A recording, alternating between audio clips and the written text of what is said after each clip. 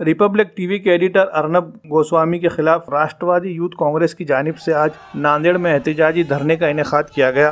अर्नब गोस्वामी पर मुल्क से गद्दारी जैसे संगीन इल्ज़ाम लगाए जा रहे हैं। अर्नब गोस्वामी के व्हाट्सएप चैट से ये पता चला है कि उन्होंने पुलवामा हमले से चंद रोज कबल बार्क इदारे के ऑफिसर पार्थो गुप्ता से की गई गुफ्तगु में कई सनसनीखेज बातों का इंकशाफ हुआ है। 500 से जायद सफात पर मुश्तमिल ये गुफ्तगु मुल्क की सलामत के लिए बहुत बड़ा खतरा साबित हो सकती थी। इसलिए अर्नब गोस्वामी तक ये मालूम किसने पहुँचाई? इन तमाम बातों का खुलासा होना ज़रूरी है। इस मामले में न सिर्फ़ अर्नब गोस्वामी के खिलाफ मुकदमा चलाने की मांग की जा रही है, बल्कि इसको ये मालूम देने वाले इदारों की भी जाँच की मांग की गई है।